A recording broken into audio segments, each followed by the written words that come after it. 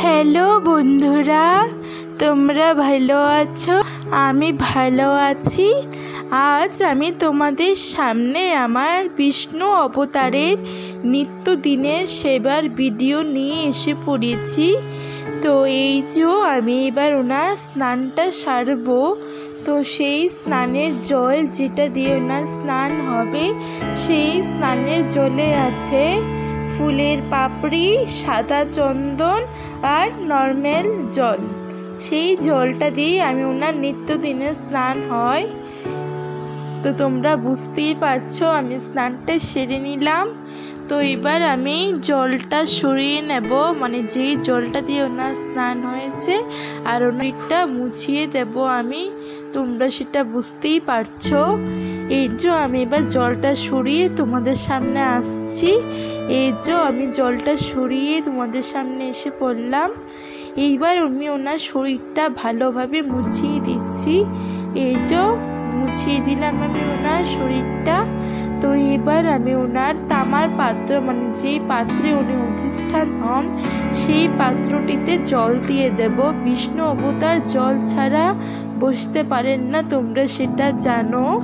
এই যে আমার বিষ্ণু অবতার এবার আমি ওনার সেই তামার পাত্রে যেই স্নানের জলটা দিয়ে ওনার স্নান হয়েছে, সেই স্নানের জলটার সেই পাত্রে দেব, এই যে দিয়ে দিচ্ছি, তোমরা বুঝতেই পারছ।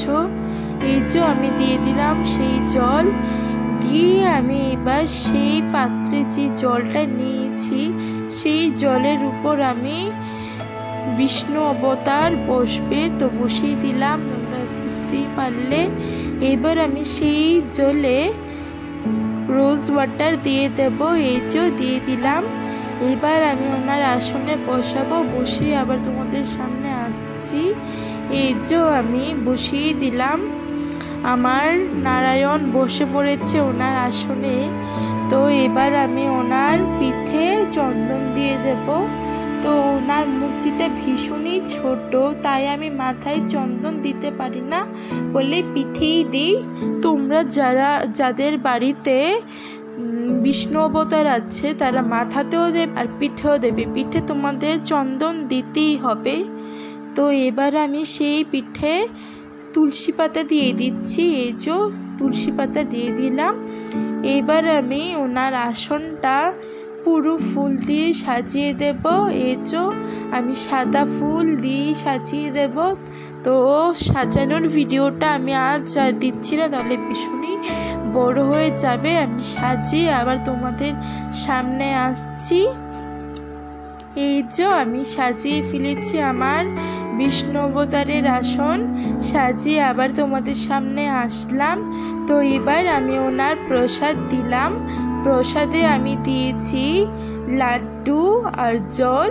সেই জলের উপর আর লাড্ডুর উপর তুলসী পাতা দিয়ে দিয়েছি। উনি নারায়ণ, ওনার সেবাতে তুলসী পাতা তোমাদের দিতেই হবে।